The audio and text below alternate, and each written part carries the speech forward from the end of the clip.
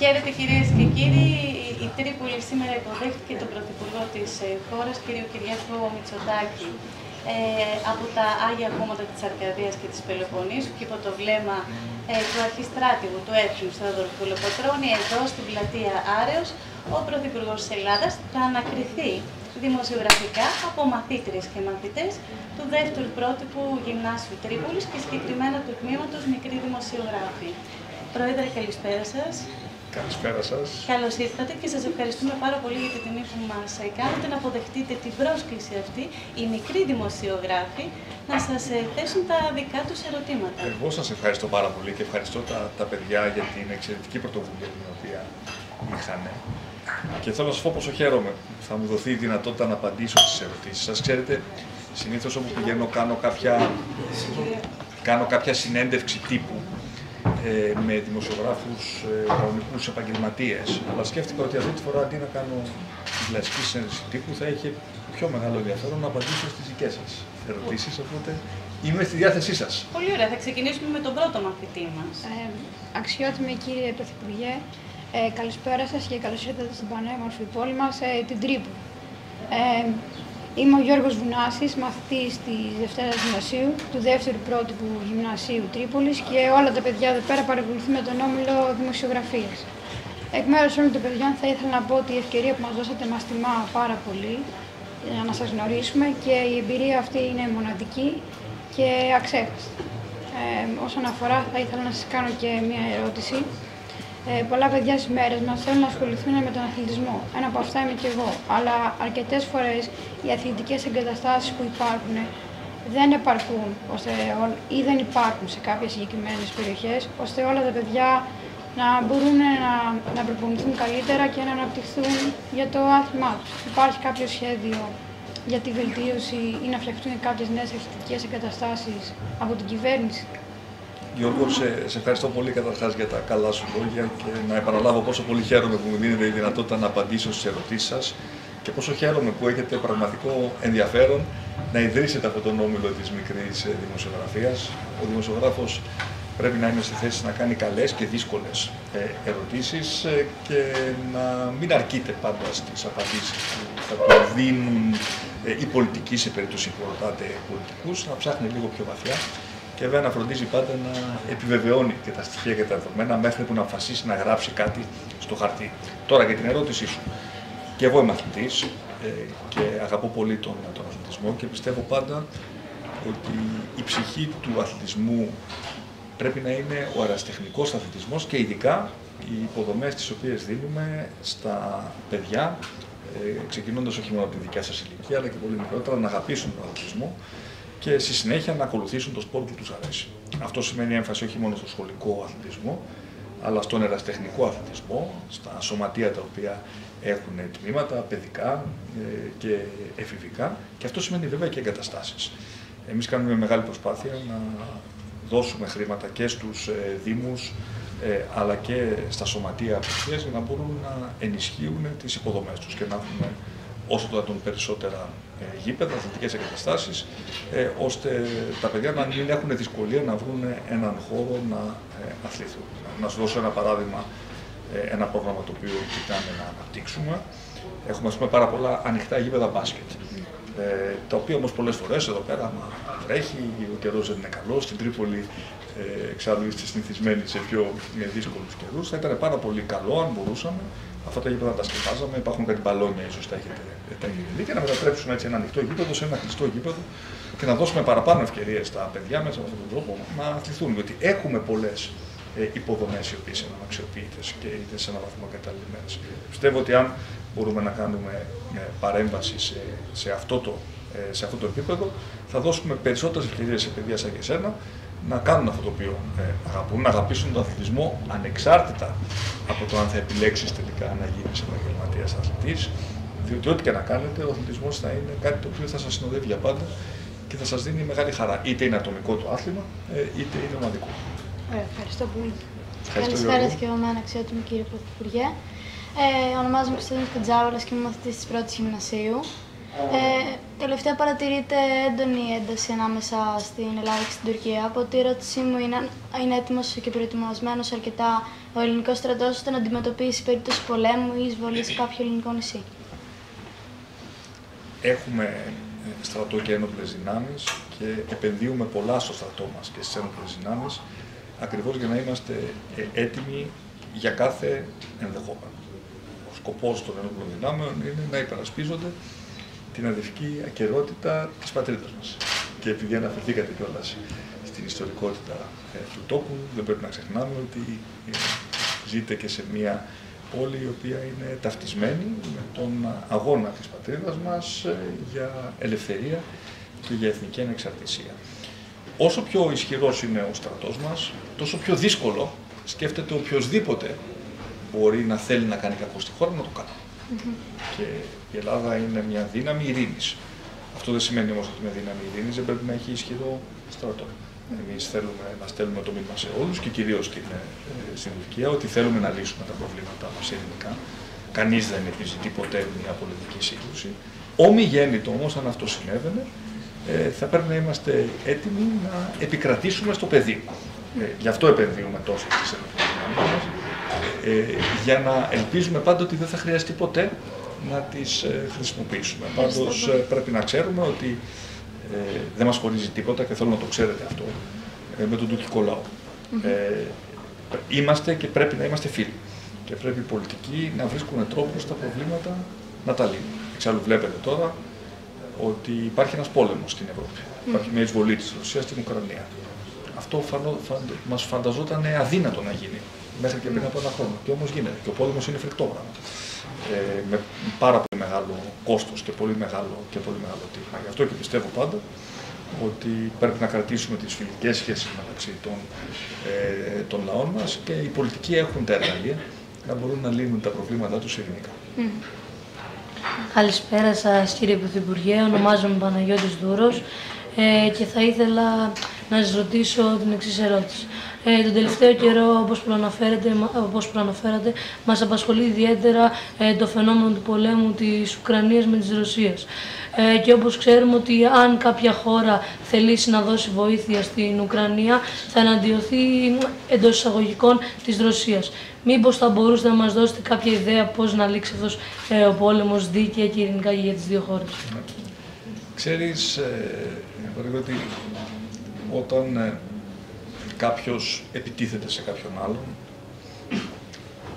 είναι ένα δίκο. Διότι δεν νοείται ποτέ να, ε, να θες να διεκδικήσεις το όποιο δίκαιο θεωρείς ότι έχεις με το να εισβάλλεις σε μια άλλη χώρα. Κάνε το δικό σου, τι θα, συνέβαινε, τι θα σήμαινε αυτό για την, για την πατρίδα μας, mm. εάν, ε, εάν συνέβαινε. Εμείς λοιπόν τι έχουμε πει, ότι σε αυτή την περίπτωση ε, πρέπει να είμαστε με τον αμυνόμενο. Εδώ υπάρχει αμυνόμενος και υπάρχει επιτιθέμενος. Και υπάρχει μια αρχή στη διεθνή πολιτική, η οποία ονομάζεται απαραβίαστο των συνόρων. Δεν μπορείς να παραβιάσεις τα σύνορα. Τα σύνορα έχουν προκύψει μετά από αιώνες, μετά από πολλούς πολέμους και κατοχυρώνονται μέσα από διεθνείς συνθήκες. Άρα δεν, μπορούν, δεν μπορεί κάποιος με το ζόρι να έρθει και να πει: Εγώ καταλαμβάνω ένα κομμάτι μέσα σε άλλες χώρες. Αυτό απαγορεύεται με βάση το διεθνές δίκαιο. Από τη στιγμή λοιπόν που κάποιος κάνει κάτι παράνομο, εμείς πρέπει να τον βοηθήσουμε να υπερασπιστεί τον εαυτό του. Και πώς το κάνουμε, δίνοντας του βοήθεια και στρατιωτική βοήθεια, έτσι ώστε όταν θα έρθει η ώρα να αισθάνεται ο ίδιος ο αμυνόμενος έτοιμος να καθίσει στο τραπέζι των διαπραγματεύσεων, διότι όλοι οι πόλεμοι κάπως τελειώνουν. Τελειώνουν με μια διαπραγμάτευση. Να το κάνει από θέση ισχύως και όχι από θέση ε, αδυναμίας. Αυτός είναι ο σκοπός μας και στην περίπτωση της της ε, Ουκρανίας και γι' αυτό έχει τόσο μεγάλη σημασία να εξακολουθούμε ε, να την στηρίζουμε. Διότι πολύ απλά εδώ δεν μιλάμε για έναν καυγά που δεν ξέρουμε ποιος φταίει. Να το πω πολύ απλά. Ξέρουμε ποιος φταίει. Φταίει αυτός που επιτέθηκε. Σε κάθε περίπτωση. Αυτό δεν, δεν, δεν αμφισβητείται. Είναι όπως ας πούμε όταν γίνεται ένα τύχημα στο δρόμο, πάντα ο κώδικας οδικής κυκλοφορίας μας λέει εξορισμού αν πέσει ένα αυτοκίνητο σε ένα άλλο από πίσω, φταίει πάντα αυτός που είναι από πίσω. Έτσι και εδώ. Αυτός ο οποίος επιτίθεται και παίρνει τα όπλα και κινητοποιεί το στρατό του και επιτίθεται σε μια άλλη χώρα, αυτή Σε ευχαριστώ πολύ. Ε, καλησπέρα και από μένα Ε, ονομάζω, ονομάζομαι Μαριώτα Μελάκου. Ε, κύριε, θα μου είναι μπορούσατε να κάνετε για τις λεκτικές επιθέσεις ε, που αντιμετωπίζει η χώρα μας από την Τουρκία; Σας απασχολεί πολύ η Τουρκία, βλέπω. Νομίζω ότι μερικές φορές πρέπει πάντα να ξεχωρίζει κανείς τις λεκτικές επιθέσεις ε, από την ουσία. Είναι άσχημο να δηλητηριάζεται το κλίμα. Όταν ε, κάποιος από το εξωτερικό, πόσο μάλλον από την Τουρκία, μιλάει άσχημα για τη χώρα μας, αυτό νομίζω ότι είναι κάτι το οποίο συναισθηματικά μας ενοχλεί όλους. Όμως ε, είναι πάρα πολύ σημαντικό στην πολιτική, θα έλεγα και στη, και στη ζωή, το, το βλέπετε κι εσείς όταν ε, καθώς μεγαλώνετε μέσα στο σχολείο, να ξεχωρίζει κανείς το συνέστημα από τη λογική. Και πρέπει να καταλαβαίνουμε ότι πολλές φορές αυτά τα οποία λέγονται στην Τουρκία δεν λέγονται τόσο για να τα ακούσουμε εμείς στην Ελλάδα, όσο για να τα ακούσουν κάποιοι στην Τουρκία, ενδεχομένως για να ψηφίσουν κάποιον στις εκλογές οι οποίες, ε, οι οποίες έρχονται. Οπότε ε, είναι καλό να μην λέγονται γενικά βαριές κουβέντες στο δημόσιο λόγο. Αυτό ισχύει για όλους σας. Και εσείς μερικές φορές, άμα τύχει να τσακωθείτε με, με κάποιον φίλο σας ή κάποια φίλη σας, καλό είναι να μην λέγονται ε, κουβέντες, ε, κουβέντες βαριές, γιατί μετά είναι πάντα πιο δύσκολο να τα βρεις. Άρα όσο πιο βαριές είναι οι κουβέντες που, που λέγονται, ε, τόσο πιο δύσκολο είναι να τα, ε, να τα βρεις. Οπότε ναι, μας στεναχωρεί, αλλά δεν κάνουμε το ίδιο. Θα μπορούσαμε και εμείς να κάνουμε φραστικές επιθέσεις, επιλέγουμε να μην το κάνουμε ε, ως χώρα και να, και να μείνουμε στο δίκαιο των επιχειρημάτων μας.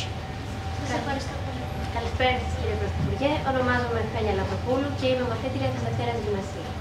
Ε, θεωρείτε πως η πιθανή έβρεση πετρελαίου στην περιοχή μας θα αυξήσει τη, το βιωτικό επίπεδο των κατοίκων και συγχρόνως θα μειώσει τις κοινωνικές ανισότητες.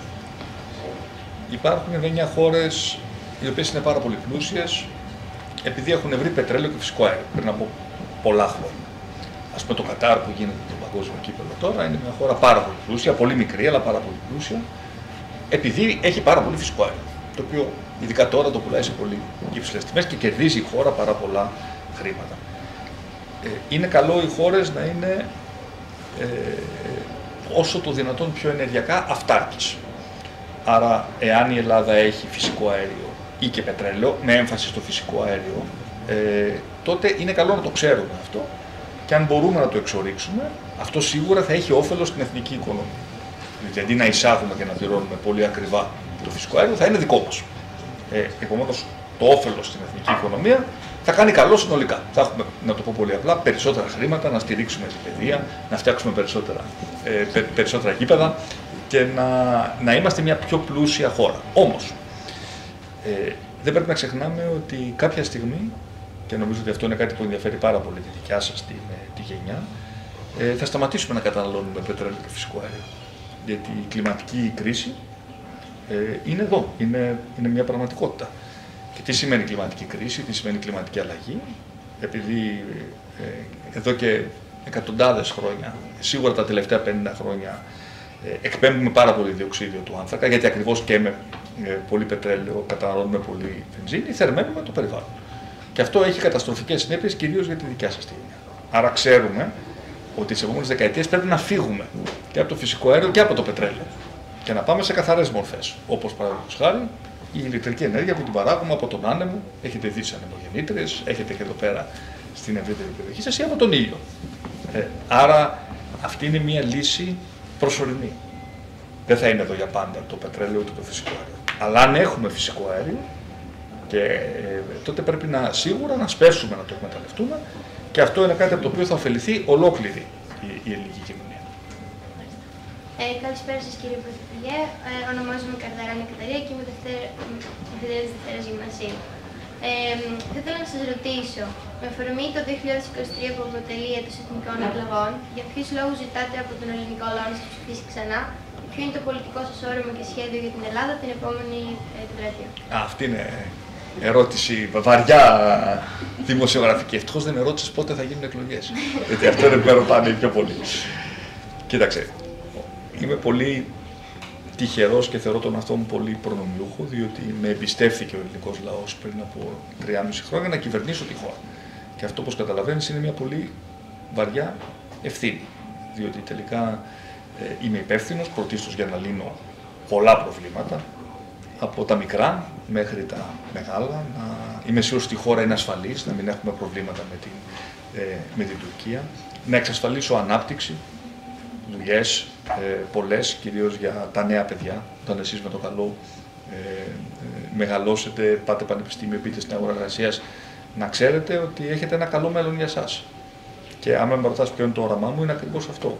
Η δικιά σας η γενιά, είστε τώρα 14 ετών, 15, 13, σε αυτή την ηλικία περίπου, να ξέρετε ότι θα πάρετε μια καλή εκπαίδευση στο σχολείο σας, είστε σε ένα πρότυπο σχολείο.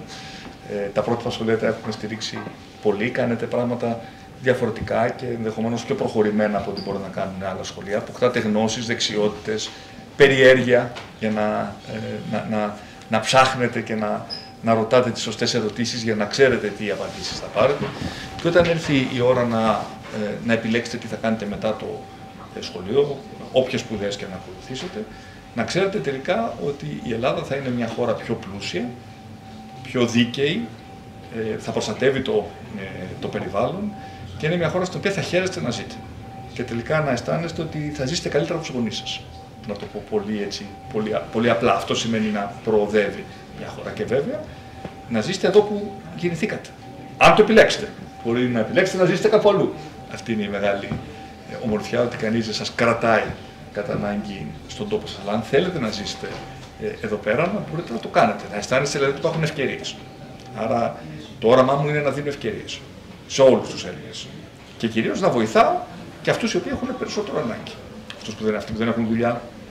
Ε, σκεφτείτε τώρα, ας πούμε, είδατε τι περιστατικά πολύ δύσκολα τα, τα διαβάσατε ως, ε, ως δημοσιογράφοι με τα ιδρύματά μας, παιδιά τα οποία είναι σε ιδρύματα, δεν έχουν οικογένειες ε, και πρέπει να αποκτήσουν μια, μια οικογένεια να φύγουν από τα ιδρύματα. Ε, ε αυτές οι πολύ δύσκολες περιπτώσεις που πολλές φορές αισθανόμαστε ότι δεν μας αγγίζουν γιατί εσείς έχετε την οικογένειά σας, έχετε το, ε, ε, ε, το σχολείο σας, όμως υπάρχουν και αυτές οι περιπτώσεις, πολύ δύσκολες με τις οποίες πρέπει να, ε, πρέπει να ασχοληθούμε.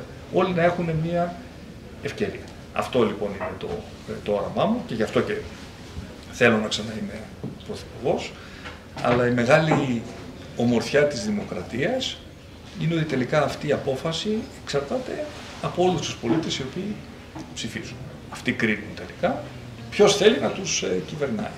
Και εμείς είμαστε, να το πω, είμαστε στην υπηρεσία των πολιτών. Είμαστε στη θέση αυτή και εγώ είμαι στη θέση αυτή για όσο χρόνο οι πολίτες θέλουν. Να το πω έτσι σχηματικά, με έχετε προσλάβει για μια τετραετία και ε, στο 23, στο τέλος της τετραετίας, θα σας ζητήσω αν θέλετε να, με, να, με, να, να προσφέρω τις, τις όποιες υπηρεσίες μου σε εσάς για ακόμα τέσσερα χρόνια. Έτσι δουλεύει ε, η δημοκρατία και όσο πιο ενημερωμένοι είναι οι πολίτες, και αυτό και ο ρόλος της δημοσιογραφίας είναι τόσο σημαντικός, και τόσο πιο πολύ διαχωρίζετε την αλήθεια από τα fake news, και εσείς βλέπετε τώρα ότι ζείτε σε δύο κόσμους. Ο ένας είναι ο πραγματικός κόσμος και ο δεύτερος είναι ο ψηφιακός κόσμος των, ε, των κινητών σας. Και πολλές φορές δεν μπορούμε να ξεχωρίσουμε τι είναι αλήθεια και τι είναι, και τι είναι ψέμα. Και εκεί πάντα να ψάχνετε λίγο παραπάνω ε, για το ποια είναι ε, η αλήθεια. Άρα οι πολίτες με καλή πληροφόρηση θα κρίνουν και θα επιλέξουν ποιος θα θέλει να τους κυβερνήσει την επόμενη τετραετία. Θα περάσουμε σε ένα Ευχαριστούμε πάρα πολύ. Θα κατεβέσετε τη σκάλα και θα έρθουν τα λέξη. Γεια σας. Ε, καλησπέρα και από εμάς. Ε, ονομάζομαι Σύνθια Καψιμάλη και φυτός Δευτέρα Γυμνασίου. Ε, όσο έχω και εγώ αναρωτιέμαι, ε, ποιο είναι το σχέδιό σας για ένα καλύτερο μέλλον για τα παιδιά της ηλικίας μου. Όσο για τις χώρες μας, τι πατήματα εντός εισαγωγικών έχετε θέσει ως στόχο να μας δώσετε ώστε να κάνουμε την πατρίδα μας καλύτερη; Συνήθεια, το πρώτο το οποίο πρέπει να, να κάνω για παιδιά της ηλικίας σας είναι να έχετε μια καλή εκπαίδευση. Ένα καλό σχολείο. Ε, και όταν εννοώ ένα καλό σχολείο, εννοώ ένα σχολείο με καλούς δασκάλους. Ε, με δασκάλους που νοιάζονται πραγματικά ε, να, να μάθετε πράγματα, αλλά να γίνετε και καλοί πολίτες και καλοί άνθρωποι. Άρα η εκπαίδευση για μένα δεν είναι μόνο να μάθεις παπαγαλία το μάθημα της ιστορίας. Είναι να μάθεις να κάνεις και εκείνες τις ερωτήσεις για να καταλαβαίνεις τι κρύβεται πίσω από το κείμενο, αλλά ταυτόχρονα είναι και συμπεριφορές, είναι πώς θα δουλεύετε σε ομάδες, καλή ώρα όπως δουλεύετε τώρα, είναι σεβασμός, είναι ε, καινούρια αντικείμενα τα οποία πρέπει να μάθετε στο σχολείο από την προστασία του περιβάλλοντος μέχρι θέματα ας πούμε, σεξουαλικής αγωγής που ήταν τελείως ξένα και δεν τα συζητούσαμε ποτέ στα, ε, στα σχολεία μας. Άρα η πρώτη υποχρέωση που, που έχω είναι να μπορέσετε μέσα από το σχολείο να γίνετε να, να πάρετε όχι μόνο τις γνώσεις, αλλά να γίνετε ολοκληρωμένοι άνθρωποι και καλοί χαρακτήρες. Αυτό έχει πολύ μεγάλη σημασία για, για εμένα και γι' αυτό και αποδίδουμε τόσο μεγάλη σημασία στην εκπαίδευση. Και από εκεί και πέρα, να, έξω από το σχολείο, να σας δώσω τα υπόλοιπα ε, ε, εργαλεία, να αναπτύξετε και άλλες δραστηριότητες, είτε είναι η μουσική, είτε είναι το θέατρο, ε, είτε είναι ο, ε, ο αθλητισμός, ώστε όταν ε, φτάσετε στο σημείο να αποφασίσετε περισσότερο τι θέλετε να κάνετε, τι θέλετε να σπουδάσετε, να έχετε τα, τα περισσότερα εργαλεία στη διάθεσή σας για να κάνετε σωστά αυτή την επιλογή. Ευχαριστώ πολύ. Κύριε Πρωθυπουργέ, ονομάζομαι Μιράντα Τρουπή και είμαι δευ... ε, μαθήτης Δευτέρας Γυμνασίου. Όπως ξέρετε, είμαστε όλοι από το δεύτερο πρότυπο γυμνάσιο Τρίπολη, το οποίο είναι το πρώτο πρότυπο γυμνάσιο της περιοχής μας. Ε, κατά τη γνώμη σας, είναι καλό να λειτουργούν ε, τέτοια σχολεία σε μικρές περιοχές όπως και Τρίπολη; Εγώ θέλω να ρωτήσω εσάς πώς σας φαίνεται η εμπειρία σας από το πρότυπο σχολείο. Αλλά ναι, πιστεύω πολύ στα πρότυπα σχολεία. Ε, και τελικά θα θέλαμε όλα τα σχολεία να είναι πρότυπα. Για να το πω πολύ, πολύ, πολύ απλά. Τι είναι το πρότυπο, είναι ένα εργαστήρι ε, για, για παιδιά τα οποία έχουν τις δυνατότητες και μπορούν να, να, να ανταποκριθούν για να κάνουμε πιο προχωρημένα πράγματα. Άρα, ιδανικά αυτά τα οποία κάνουμε στα πρότυπα θέλουμε να τα μεταφέρουμε σε όλα τα σχολεία. Αλλά επειδή δεν είναι εύκολο πάντα αυτό να το κάνουμε και δοκιμάζουμε και πράγματα, μπορεί αύριο να δοκιμάσουμε κάτι σε ένα πρότυπο σχολείο, ε, κάποιο εργαστήριο των δεξιοτήτων και να δούμε ότι τελικά αυτό δεν είχε ε, ανταπόκριση. Άρα, ναι, χαίρομαι πάρα πολύ που ε, υπάρχει πρότυπο σχολείο και πιστεύω ότι και εσείς ε, ε, αν κρίνω και από το έτσι, πόσο, όριμοι, πόσο, πόσο όριμοι είστε και πόσο βλέπω ότι έχετε περιέργεια να κάνετε ωραίες ερωτήσεις, νομίζω το χαίρεστε και εσείς πάρα πολύ. Ευχαριστώ πολύ. Γεια σας κύριε Πρωθυπουργέ, είμαι ο Λίζης Λόντος και φοιτώ στο, ε, στην τρίτη γυμνασίου στο δεύτερο πρώτο γυμνάσιο. Και η ερώτηση μου είναι ότι ε, τώρα τελευταία έχουν αναπτυχθεί αρκετά τα εμβόλια. Τα εμπιστεύεστε. Και δεύτερον, ε, μπορούμε να αναπτύξουμε δεύτερα σύνθετα εμβόλια και μόλις ένα έτος για να ε, κάνουμε καλύτερα γενικά τις διαδικασίες στον κόσμο. Ναι. Κοίταξε, τα εμβόλια ε, δεν θυμόμαστε, αλλά το έχουμε στο βιβλιάριο υγείας μας, ότι όλα τα παιδιά κάνουν εμβόλια από πολύ μικρή ηλικία. Ε, τα οποία μας προστατεύουν από ε, ασθένειες οι οποίες ήταν πολύ δεδομένες πριν υπάρξουν τα εμβόλια. Τα εμβόλια είναι η μεγαλύτερη επανάσταση στην ιατρική επιστήμη στην ιστορία της επιστήμης, καμία τεχνολογία δεν έσωσε περισσότερες ζωές από τα εμβόλια. Ειδικά στα παιδιά. Όταν έρχονται καινούριες ασθένειες, το πρώτο το οποίο σκεφτόμαστε είναι πώς θα βρούμε ένα εμβόλιο, ειδικά για ιούς, το οποίο να μας προστατεύσουν από τις ασθένειες αυτές. Αυτό έγινε και με τον COVID. Και πράγματι η επιστήμη έκανε ένα θαύμα πολύ γρήγορα. Βρήκε ένα εμβόλιο, πολλά εμβόλια, όχι μόνο ένα, χρησιμοποιώντα μάλιστα και κάποιες καινούριες τεχνολογίες. Και απέδειξε η επιστήμη, γιατί αυτή είναι η δουλειά της επιστήμης, ε, γιατί η επιστήμη στηρίζει σε δεδομένα, ότι χωρίς αμφιβολία τα ωφέλη από το εμβόλιο είναι πολλά πολλά περισσότερα από τις όποιες παρενέργειες, γιατί πάντα μπορεί να υπάρχει μια παρενέργεια. Και σώσαμε στον κόσμο εκατομμύρια ζωές. Ε, πάντα υπάρχουν άνθρωποι που φοβούνται. Υπάρχουν άνθρωποι που φοβούνται, υπάρχουν άνθρωποι που αρνούνται και την, και την ίδια την, την επιστήμη. Όμως στο σχολείο ένα πράγμα το οποίο μαθαίνετε είναι τη σημασία του ορθού λόγου και να κρίνεται με βάση τα πραγματικά δεδομένα. Και τα δεδομένα είναι αναμφισβήτητα. Τα εμβόλια σώζουν ζωές. Θα έχουμε ε, καινούρια, υπάρχουν ήδη καινούρια ε, εμβόλια. Υπάρχουν εμβόλια τα οποία ε, κάνετε εσείς στην, στην ηλικία σας. Παραδείγματος χάρη το εμβόλιο κατά του καρκίνου του τραχύλου της της μύτρας, που είναι ένα εμβόλιο το οποίο δεν υπήρχε πριν από 10 ε, χρόνια. Τώρα υπάρχει όμως και σας προστατεύει για κάτι το οποίο μπορεί να σας συμβεί στο μέλλον. Αλλά ξέρουμε όμως ότι ε, τα εμβόλια αυτά είναι ε, πάρα, πάρα πολύ και απλά χρήσιμα, ε, είναι απαραίτητα για να αντιμετωπίσουμε ε, ασθένειες. Έτσι προχωράει η επιστήμη. Και τα εμβόλια είναι ένα πολύ σημαντικό εργαλείο που έχουμε στη διάθεσή μας για να αντιμετωπίσουμε προβλήματα, προβλήματα που τα ξέρουμε σήμερα ή προβλήματα όπως το COVID, τα οποία δεν τα γνωρίζαμε, ένας καινούριος ιός μας προέκυψε ξαφνικά.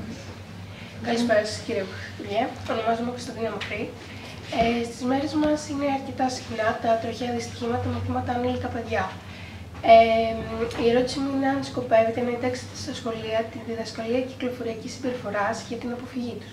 Το κάνουμε ήδη και σε ευχαριστώ πολύ για το ερώτημά σου. Είναι πάρα πολύ σημαντικό αυτό το οποίο, ε, το οποίο λες. Χάνονται πολλοί, πολλοί άνθρωποι, οι συμπολίτες μας και πολλά νέα παιδιά.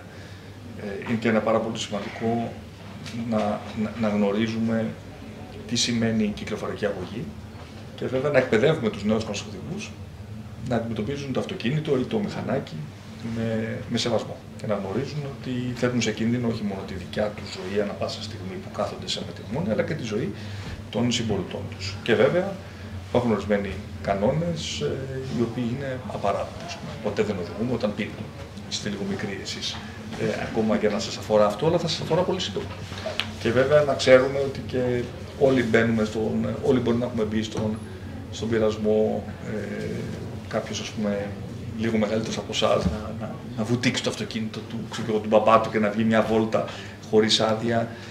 Μπορεί να ακούγεται ωραίο και cool, για να το πω πολύ απλά, αλλά είναι λάθος. Διότι μπορεί να στοιχήσει ζωές. Αυτό.